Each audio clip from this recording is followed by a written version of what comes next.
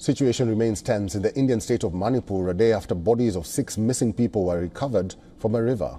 In the wake of protests over the incident, the National People's Party has withdrawn its support from the BJP-led government led by Chief Minister N. Biren Singh. The party has highlighted the deteriorating law and order situation in the region for its decision. Its withdrawal, however, does not affect the continuation of the BJP-led government in the state.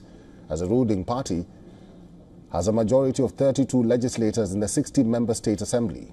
The continuing protests, hundreds of protesters, mainly women, hit the streets of state capital Imphal today.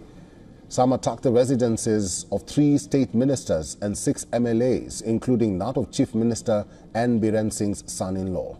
Over 23 people arrested for ransacking and setting fires to the homes of lawmakers and ministers.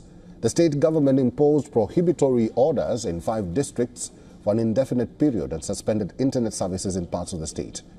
The bodies of two women and a child who had been missing since Monday came from a camp for the displaced were recovered from the Barak River in Jiribam yesterday, while three other bodies, including a woman and two children, were found on Friday.